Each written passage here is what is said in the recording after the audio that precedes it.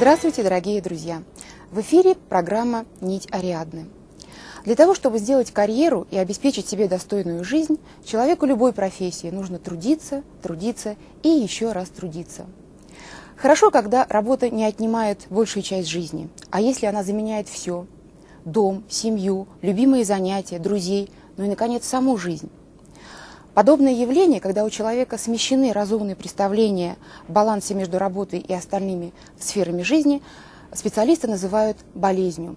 Болезнью, который, э, на которую сам пациент не обращает никакого внимания. Больше всего она беспокоит его родных и близких. Итак, тема сегодняшней программы – трудоголик в семье.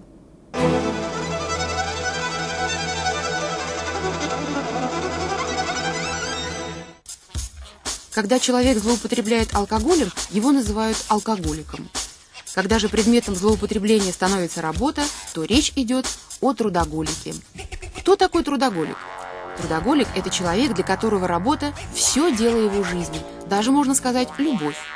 Поэтому он активно вытесняет из своей жизни все, что мешает работе. Любовные переживания, музыку, детей, книги, рыбалку, семью. При этом его почти не интересуют практические результаты деятельности. Весь интерес в самом процессе. Трудоголики таким положением дел мало взволнованы. Больше всего беспокоятся их близкие. Да и как же здесь не беспокоиться, когда жена, а чаще муж, просто горят на работе?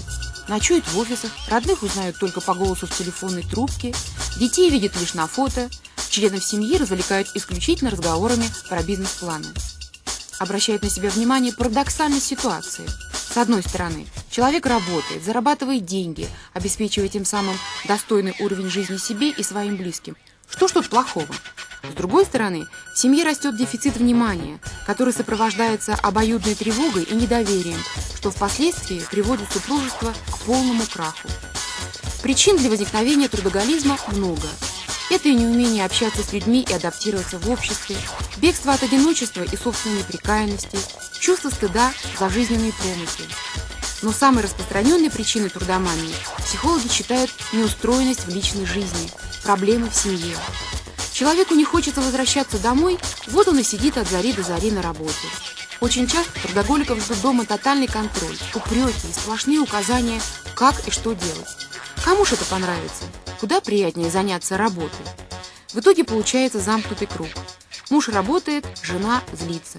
И чем больше она злится, тем больше ему хочется работать. Как же выйти из этого порочного круга? По мнению специалистов, лечить трудоголиков, бегущих от семейных неурядиц, надо не таблетками, а повышенным уважением к ним в семье, любовью, устранением давления и командного тона. Возможно, тогда они перестанут жить по принципу «работаю сколько могу» и начнут жить по принципу «работаю сколько надо для дела, для семьи и для счастливой жизни».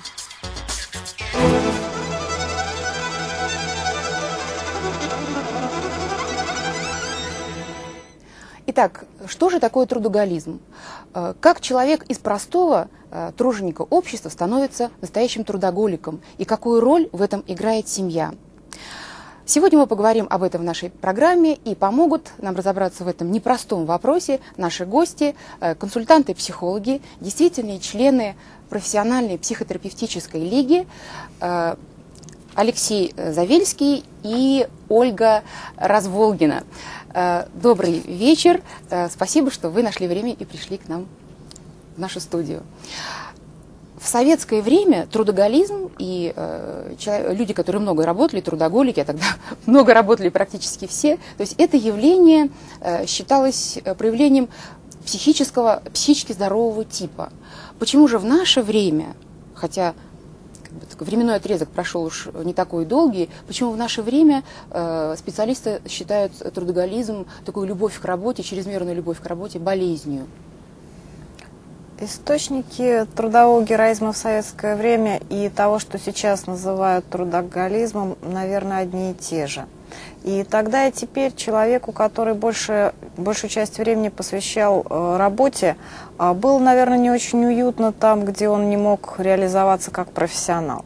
Однако, если в недавнем нашем прошлом это способствовало выполнению народно-хозяйственных планов и, собственно говоря, не вело ни к каким прямым выгодам для человека и его семьи, то сейчас э, это изменилось. Сейчас трудоголик может быть крайне успешен как в личном плане, так и может приносить огромную пользу своей семье. Поэтому все больше семей склоняется к тому, что иметь трудоголика в своем составе достаточно выгодно. Так, э, если, значит, если в советское время э, труд был, может быть, больше модным занятием э, в плане показушничества какого-то, да, такого чисто внешнего явления, чтобы Ну, начальство способ уважало. Был. Способ Да, реализации. спо- способ реализации Мгм. человека а, именно там, поскольку а, а, это единственное место, ну, не только способ реализации. э, Вначале это был способ выживания, достаточно успешный, да, просто адаптация к тем условиям, которые были. Потому что в Мгм. других местах просто страшно. А А, э, потом это стало уже способ реализации, поскольку вот какой-то материальный в рамках семьи, в рамках э, э, какого-то обустраивания собственного быта, выгоды, все равно не, возможно, разницы не было. Не было реальной разницы. Вкладываешься ты туда или не вкладываешься. Да?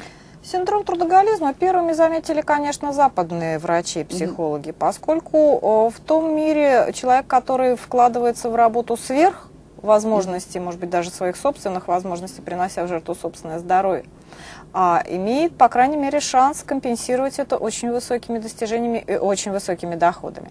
А в тот момент, когда в нашей стране доходы человека стали зависеть от его трудового вклада, Мгм. а, у нас это явление стало формироваться во всем своем великолепии. А, Хорошо, а вот что же все-таки это э, за болезнь, трудоголизм, эм, и что у человека болит и в каком месте, если уж это действительно болезнь? Как вам сказать э, про болезнь или не болезнь, да? А, а, это так же, как э, с другими зависимостями. Это зависимость. Это особый класс э, ну, болезней, можно сказать, что болезней. А когда э, человек не может, не в состоянии управлять э, своим поведением по Мгм. собственной воле, когда он зависит от чего-то э, в- относительно себя внешнего. В данном случае мы говорим о зависимости от работы. Также в точности человек может зависеть от э, всем известным, то, то, что мы называем зависимости, от химических средств, также с точностью он может зависеть Мгм. от э, алкоголя, что в нашей стране достаточно долго считается, сейчас считается, что это очень распространено, хотя практика показывает, что э, по статистике подчас не выше, чем во многих западных странах. Такая зависимость есть, также и с трудоголизмом на сегодняшний день. То есть мы в той же мере болеем трудоголизмом, как и люди западного мира на То- сегодняшний день. То есть это не болезнь времени, да, вот э, Это не- когда у нас начался постперестроечный период и э, больше людей стали заниматься бизнесом. То есть у нас что до перестройки э, многие люди э, были трудоголиками, что после перестройки? Или все-таки какой-то не процент? совсем так. А, Мы скорее это не болезнь а, времени, это не временная болезнь, она останется, да. А дело в том, что мы, с- присоединившись а, к остальному миру, ну, получили в результате и те же самые болезни, которые были у него. Именно в тех формах, да? Понимаете, здесь с психикой достаточно сложно сказать, болезнь, не болезнь. Многие считают, что это своеобразный способ адаптации, да?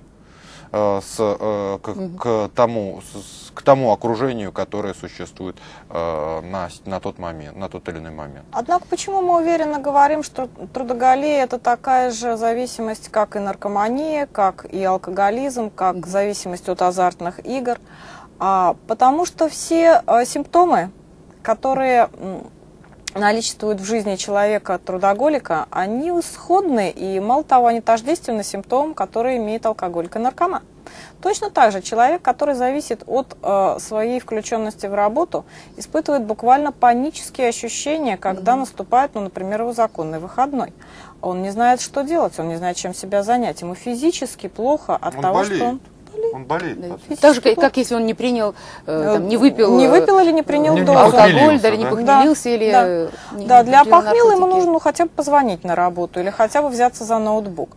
А, и это уже немножечко облегчает состояние. Однако такие люди, попавшие, например, в отпуск, могут заболеть всерьез. На, э, в медицине, на медицинском языке это называется синдромом отмены. Того препарата или вот той работы, которую То есть таблетки человек... рядом нет, Да, да? таблетки Таблетки рядом нет. Работы рядом нет. Работы да, рядом работа это нет, таблетка, да. это Тот, что человек работает. зависит, отсутствует, и он начинает физически ощущать а, недомогание и тяжелые переживания. А, кроме того, э, есть еще такой симптом, как э, увеличение дозы. Постоянно требуется все больше и больше работы. То есть человек, попавший в этот замкнутый круг, а, рано или поздно э, перестает удовлетворяться той работой, которую он уже на себя взвалил, а берет себе все больше и больше. Например, управленец может э, пытаться забрать для себя все больше и больше зоны ответственности, хотя уже и с тем, что у него есть, он э, не справляется чисто по времени. Но он все равно хочет больше и больше з- вот этой д- дозы этой работы. Насколько это бесконечно? Потому что нельзя же бесконечно увеличить свою работу, где-то надо остановиться. А останавливает такого человека так же, как алкоголик и наркоман, только физическая невозможность, только когда просто падает. А, То есть либо болезнь, либо... В больнице когда оказывается? Ну, На операционном столе подчас. Да, то Так, есть это место встречи изменить нельзя, Да, называется. Острый панкреатит, о, заболевание. заболевания щитовидной железы. Так, какие самые распространенные болезни? Вот сейчас. А сердечно-сосудистые, которые вы, вы упоминали, да, железно- Жел- желудочно-кишечный тракт. прободные язвы. Это может А остановить. инфаркты, инсульты – это э, болезнь трудоголиков или все-таки А, Это Нет. немножечко нем другая тема, которая, в принципе, это болезнь стресса. Ага, это стресс. Это болезнь стресса, да? Трудоголик А, очень часто снимает стресс увеличением трудовой нагрузки, поэтому здесь не всегда... парадоксально, да? Так, парадоксально. понятно. То есть здесь немножко по-другому А, действует да. этот механизм. А, хотя в стресс так, человек, который э, страдает трудоголией, подвергает себя опасности пор- порой и попадать в стрессовые ситуации. Да? И в результате может возникнуть какой-то определенный стресс, в результате которого ну, может возникнуть и инсульт, и инфаркт. И, э, вот эти. Но это, опять же, э, если говорить о трудоголии и о эм, а, ин- сердечно-сосудистых заболеваниях, то это все-таки они связаны только возможностью стресса. Э, Прежде чем мы сейчас начнем говорить или продолжим наш разговор о трудоголизме, э, мы обратимся сейчас э, с вопросами к нашим постоянным респондентам и узнаем о том, что они думают по поводу работы, то есть сколько работа в их жизни занимает времени по сравнению с тем временем, которое они отводят для семьи. Вот такие ответы мы получили. Что у вас в жизни занимает больше времени, семья или работа, и почему? Семья. Почему? Потому что маленький ребенок. Работа. А почему? Так складывается. Работа. А почему? Так выходит. Дети выросли, внуки не подросли. Вопрос, конечно, интересный, но больше, наверное, занимает времени работа.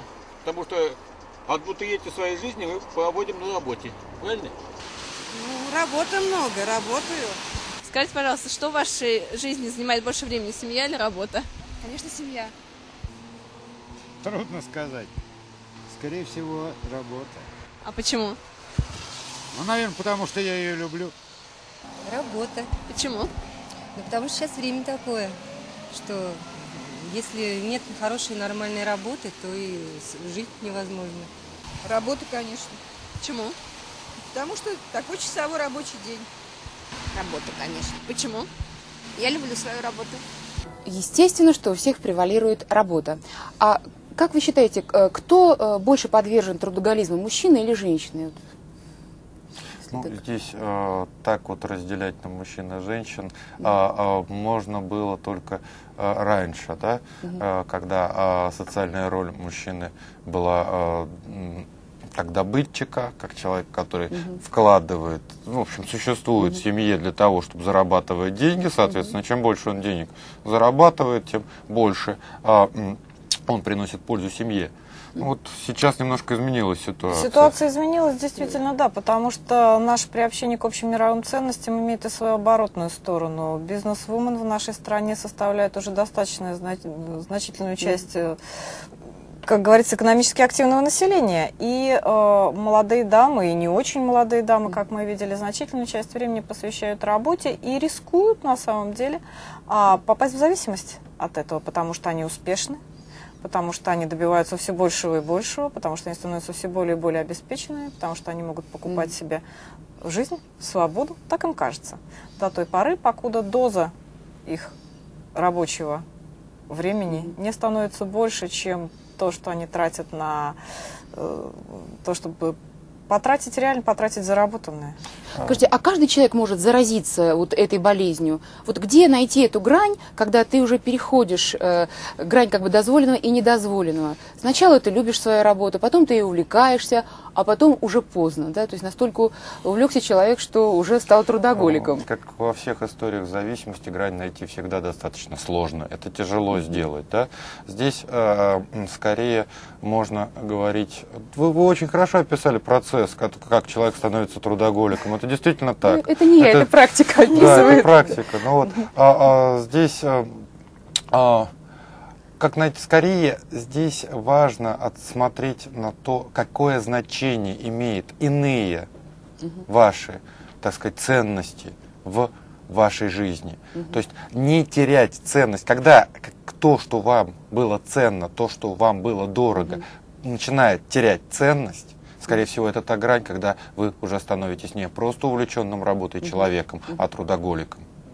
Так же, как э, доктора и психологи, работающие с зависимостями химическими, когда мы говорим о трудоголизме, очень важно понять, а что же, собственно говоря, человек получает такого на работе, чего он не может получить ни в какой другой сфере своей жизни. Чего он не получает ни в семье, ни в общении с друзьями, ни в общении, ну, например, там, с природой, ни в общении с книгой. А, и очень часто это бывают такие простые и совершенно необходимые для человека вещи, как признание, как э, высокая оценка его достижений, как просто простое внимание. Ну, То есть недостаток этих э, А, да, явлений как, в жизни человека приводит... э, так же, как с любой зависимостью, то, чего человеку не хватает в семейной системе, он может э, добирать с помощью своей зависимости. И тут тонкая грань. Чем меньше он может получать этого вне зависимости, тем больше шанс, что эта зависимость сформируется. Тогда в чем, где грань между трудоголиком и трудолюбивым человеком? Человек, который просто любит работать. И он много работает, возможно, получает вознаграждение за свой труд. Где, э, э, я не знаю, какая главная причина, которая разнит эти два понятия? Но здесь э, мы можем привести просто как чем же отличается еще Да, раз чем э, отличается? зависимость от работы и э, трудолюбие, да? Ну, во-первых, э, а, это у трудолюбивого человека нет э, синдрома отмены. Когда у него он отдыхает, он отдыхает, он это делает полноценно, с удовольствием, э, не болеет, да? а наоборот заряжается энергией для того, чтобы э, потом э, заниматься любимым делом. А, во-вторых, у него нет э, необходимости брать больше на себя, чем он реально ему нравится, чем реально он может сделать, э, чем он отвечать за те вопросы, в которых он реально компетентен. Это нормальное трудолюбие, нормальное действительно знание себя и знание еще вот этого способа получения удовольствий в работе, да? Э, Такая нормальная золотая середина, да? Да. когда человек все успевает и... Золотая середина еще определяется и таким простым соображением, что человек может получать удовольствие не только на работе. Он может получать удовольствие от рыбалки, а может от общения с собственной собакой или кошкой. При этом хорошо работая, При этом и- работая и получая много, удовольствие и тоже даже от этой работы. уставая, предположим, но отдыхая не на работе, опять же, не в увеличении ее количества, а в том, что он делает помимо работы. Вы знаете, э, есть такая вот м, формула трудолюбивого человека, практически формула. Чел- Трудолюбивый человек, который с радостью едет на работу и с радостью с нее Да, возвращается конечно, домой. Конечно, я думаю, что все ее Вот, знают, э, но да. не у всех получается. Да, э, вот когда есть радость, когда э, э, приезжаю к люби- э, возвращаюсь к любимому делу, и радость, когда я уставший еду домой, да, это нормально, это хорошо, потому что там я еще получу дополнительное удовольствие. У меня есть радость ожидания. Главное для человека радость ожидания. Он ожидает в своей семье удовольствия от общения. А, очень хо- хорошо, что сейчас вспомнили вот эту поговорку знаменитую, потому что эти две вот эти части, работа и семья,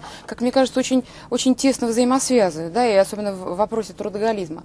А зачем человеку быть трудоголиком? Вот ему-то, вот если в жизни что-то существует, да, то это, наверное, зачем-то нужно, в том числе вот трудоголизм. Значит, это человеку нужно, раз он так э, себя ведет и э, выбрал для себя такой образ жизни. А, Ну, мы уже тут сказали, что он получает, трудоголик получает э, то, что не получает э, получает. в семье. то, что не получает Только в других семья, местах. да, Нет, только в, друг- в другом месте. в Какие любом вот, друг- вот что недополучает, э, э, чуть Алкоголь. не сказала алкоголик, Алкоголик, да, это трудоголик, да. Вот что он не получает? То есть только ли семья? Конечно, о семье мы еще сегодня будем говорить, но какие еще вот аспекты? А если человек, допустим, с утра до ночи сидит в гараже, э, разбирает и собирает там машины, мотоциклы, и жены постоянно жалуются, да, вот, э, или человек постоянно учится, не знаю, начиная там с совершеннолетия и чуть ли не до пенсионного возраста, или человек постоянно занимается оздоровлением собственного организма, что сейчас очень модно, там постоянно сауны, какие-то тренажерные залы, значит, спортивные клубы, и хотя при этом Главное затратить энергию, как, как э, вы понимаете, да, и, и так далее. Там хобби, допустим, кто-то разводит рыбок просто до умопомрачения, да, вот, вот это, э, это явление, проявление трудоголизма или это нечто другое? Пожалуй, все-таки то, о чем вы говорите, Татьяна, это нельзя отнести к тому, что называется трудоголизмом. А бывает у человека то, что называется на профессиональном языке сверхценной идеей. Когда его увлечение рыбками или рыбалкой, или э, Гаражом. те- техником, да, техникой гаражом, а, превращается для него ну, в некое такое вот марками еще очень увлекаются. Да, В, не- в некое увлечений. Но дело, главное, что, да, Оля, главное, что они- главный смысл жизни. Да, главное, что они не в семье, понимаете, и семья снова жалуется. Вот. А здесь Что он на семья работе, жалуется еще на то, что это не приносит ей особых выгод. Трудоголик в семье, он, э, как бы, по крайней мере, очень хорошо обеспечивает семью, а снимая с нее множество бытовых трудностей. Здесь э, такие увлечения, которые занимают практически всю жизнь человека, скорее компенсация его внутренней неуверенности в себе. А Им- зачем, э, извините, а Да. зачем семье нужен трудоголик? Тогда, если уж она его взрастит, то есть э, семья же его взращивает, если человеку, то есть человек не идет с работы домой, потому что ему там некомфортно. А э, получается, что корни вот этой, этого дискомфорта и э, начало вот этой болезни, э, прежде всего, больше всего э, э, находятся именно в семье. Так, а раз это в семье, значит, семье это тоже для чего-то нужно. Ну, Что Давно уже происходит? специалисты по зависимостям специ- э, давно уже определили, что э, любая зависимость это не есть индивидуальное явление.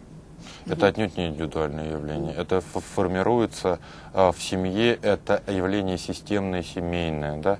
Это э, то, что не, не просто формируется, как на, на, на нем э, часто очень семьи держатся даже предъявляя претензии к своим супругам а, в том, что они пропадают на работе, вот к трудоголикам. И в случае трудоголизма очень часто, если человек перестанет пропадать на работе, изменится вся семейная структура, может быть, даже до распада. То есть в худшую сторону В худшую изменится, сторону, не да. в лучшую, да? Как Потому что, странно. это, за- что трудоголизм скрепляет семью. Так же, кстати, как и алкоголик. В чем безуспешность попыток очень часто лечения алкоголизма? В том, что система, в которой существует человек, его держит в этом состоянии, в этой зависимости. То есть в таком случае трудоголизм просто полезен, получается? Трудоголизм не то чтобы полезен, он скорее необходим, потому что если в семье не складываются отношения между мужем и женой, конечно, они могут развестись. Но, предположим, у них есть дети, и каждый из них понимает свой родительский долг так, чтобы э, обеспечивать детей и заботиться о них. И они не видят способов заботиться о своих детях, например, э, разошедшись в разные стороны, как мужчина и женщина.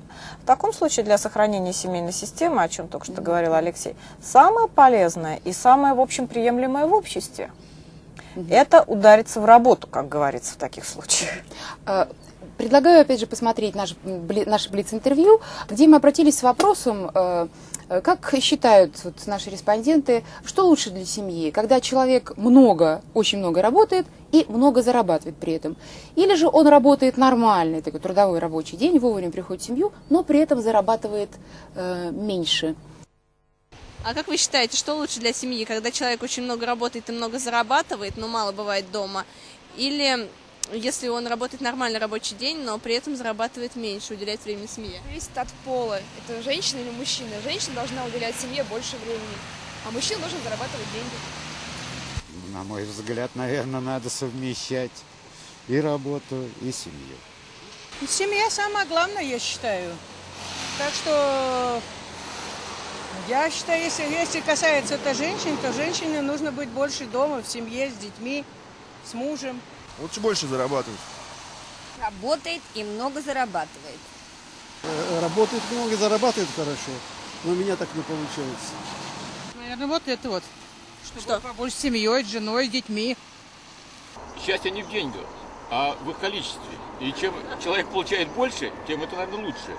Но если человек нормальный, он стремится, конечно, за- заработать больше денег, чтобы содержать семью нормально.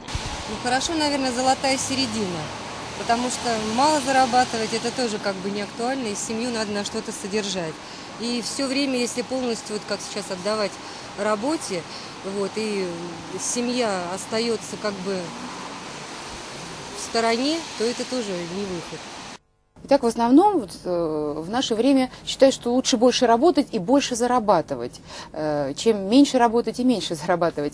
А, но почему же тогда жены или там, члены семьи жалуются на то, что муж или иногда жена да, пропадают на работе, и их э, мало бывает с семьей, э, практически не занимаются детьми, не помогают по дому, это уже просто как правило. Э, В чем тогда дело? Как семья взращивает трудоголика? Почему сочетается э, то, что они предъявляют претензии, и то, что они, они же, как мы сейчас только что говорили, и являются причиной этого явления. Да. Да, это, это, Вроде это- человек за- работает, а, зарабатывает деньги, что ж тут плохого? Вы понимаете, э, И- и упреки, у- упреки есть такая же часть э, семейной системы. Мы говорим, что да, это вот иногда это бывает необходимо.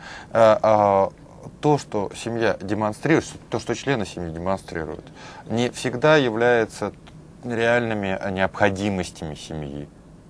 Вот здесь это э, действительно достаточно э, непростой вопрос, особенно непростой вопрос, когда человек говорит, сделайте так, приходит, например, к консультанту и говорит, мой муж много работает, сделайте так, чтобы он да, э, например, Работал меньше меньше. работал, работал меньше, поговорите с ним. Однако, когда с э, мужчиной или женщиной обсуждаешь последствия, которые наступят после того, как его супруг станет работать меньше, он довольно часто отказывается от этой идеи. Потому что действительно последствия могут наступить э, весьма неприятные для семейной системы. Например, это молодой человек, который вырос в родительской семье и сейчас, будучи взрослым, уже очевидно страдает трудоголизмом. Если он станет меньше работать, у него появится время на личную жизнь. А его родители совершенно не хотят, чтобы в их замечательной квартире появился новый э, член семьи. Поэтому трудоголизм дочери э, или сына будет э, волновать их, будет даже, может быть, раздражать их, будет их пугать, но, тем не менее, на перемену ситуации они далеко не всегда согласны. То же самое с супругами, на самом деле. Э, Когда жена упрекает мужа, или муж упрекает жену, что сейчас встречается все чаще и чаще, кстати, а, а, в том, что они пропадают на работе, действительно, тр- если это трудоголики, это системные такие трудоголики, то вовсе не факт, что если они будут появляться дома, у них наладится личная жизнь. Я, э, понятно, что то есть вы говорите как бы о результате, а э, вот мне хотелось бы услышать, что является причиной, то есть что порождает, э, что делает трудоголика, э, то есть что семья делает для того, чтобы Мгм. вот в ее недрах вырос э, трудоголик, то есть какие отношения вот просто конкретно влияют на то, что человек бежит из дома, он бежит из семьи, ему лучше на работе э, получить там массу удовольствий, то есть значит он дома чего-то недополучает. Вот чего он, он чаще всего недополучает, что является причиной вот такого бегства? Какие, какие э, истории, то есть какие, Мгм. какое поведение? Кратко можно сказать, Так. внимание, забота и общение. Уважение, И уважение. Уважение и признание. свободы. Свобода, вот да, здесь парадоксально свобода тоже. Да, Ой, ну, свобода знаете, тоже. я думаю, что сейчас немногие женщины с этим со- согласятся, чтобы А все вы- это предоставить, а тогда уж действительно пусть лучше работает. вот. Пусть лучше работает. Пусть лучше работает. вот, да. вот об А уж мужчины не согласятся предоставить это жене значительной части. На работе они получают все это легитимно. Да, Да, и да. а, так же, как со- с, алкоголем. Когда я пьяный, я могу себя не контролировать. Я имею право делать, говорить глупость в нормальном состоянии. Я не могу, поэтому я пью. Ну тогда, опять же, извините, человек э, приближается неотступно э, к больничной койке. Э, так вот, что же, как лечить, что делать? То есть как, как-то это надо все-таки остановить и дать человеку понять, что, ну, надо все-таки прийти к золотой середине, как это не было бы трудно. Изменение семейной системы непростой и нелегкий процесс. Этим занимаются психотерапевты, психологи, которые придерживаются именно системного взгляда на семью. И кто бы к ним ни обратился, взволнованные члены семьи или сам трудоголик, они могут предложить определенные изменения. Другой разговор, примет ли их семья. Эти изменения заключаются действительно в значительной перемене отношений внутри семьи, повышении доверия, открытости, реального уважения друг к другу. Если действительно все члены семьи в этом заинтересованы, то такие изменения возможны. Но немногие на это идут. Немногие на это идут, отнюдь Ну, в общем, немногие идут. на это идут, но э, те, кто действительно, для кого действительно цена их семейной системы и ценен каждый человек, ну, у них возникла эта ситуация, потому что они просто не умели между собой общаться. Мгм. Они способны на это пойти, и, в общем-то, э, си- система способна измениться. Еще система меняется в случае кризиса, потому что э, трудоголик, оказавшийся на больничной койке, э, лишает семью обеспеченности, и семья может пойти на значительные уступки в плане освобождения его от каких-то домашних, так сказать, от какого-то домашнего давления, с тем, чтобы он все-таки вернулся к работе, даже согласиться на то, чтобы он работал меньше. Но чтобы вообще не остаться, так сказать, без обеспечения. Ну, такие кризисные ситуации тоже иногда. Даже иногда предоставляют те самые жены, предоставляют иногда больше свободы или мужья. Мгм. Тому человеку, который перешел э, через больничную койку. Может быть, не всегда стоит доводить до больничной койки, иногда, может быть, этим можно озадачиться и пораньше. Главное, чтобы люди э, ощущали, то есть, что им нужно. Да? Возможно, им лучше для их семьи, чтобы э, один из членов семьи много работал, а а уж если их это как-то беспокоит, то надо быть готовым идти на какие-то уступки и на семейные э, изменения в этой семье. Спасибо вам огромное за сегодняшнюю психологическую консультацию. Я думаю, что наши телезрители э, учтут э, эти пожелания и обязательно, э, как-то сказать, применят их в своей жизни. Напоминаю, дорогие друзья, что сегодня в гостях э, у нас были психологи, консультанты и действительно члены э, профессиональной психотерапевтической лиги э, Алексей Завельский и Ольга Разволгина. И мы говорили о трудоголике в семье. Я только хочу вам пожелать, что пусть работа приносит вам только удовольствие. Работайте и будьте счастливы. До свидания и до встречи через неделю.